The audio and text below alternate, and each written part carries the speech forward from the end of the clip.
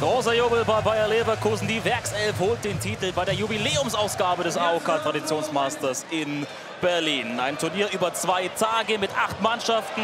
Finalgegner Borussia Dortmund. Und ein richtig guter Start für den BVB. Giovanni Federico hier mit dem 1 zu 0. Der Top-Torjäger bei diesem Turnier. Federico insgesamt mit neun Treffern. Aber die Kräfte. Sie waren ein Problem für den BVB nach zwei langen Tagen und richtig Spaß hatte vor allen Dingen Patrick Helmis bei diesem Finale. Schöne Show-Einlage, wenn auch der Seitfallzieher am Pfosten landet, aber Helmis durchaus treffsicher. Kurz vor der Pause erzielt er hier das 5 zu 2, das auch der Halbzeitstand Leverkusen einfach frischer mit dem breitesten Kader aller Mannschaften angereist.